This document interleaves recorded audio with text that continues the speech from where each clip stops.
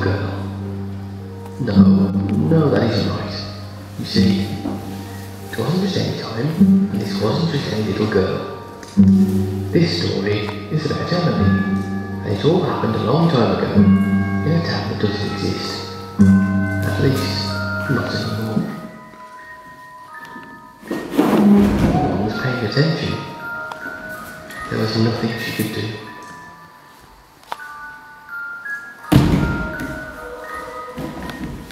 Sometimes, dark night, when the stars are bright, if you're very still and very quiet, you can almost hear a tiny voice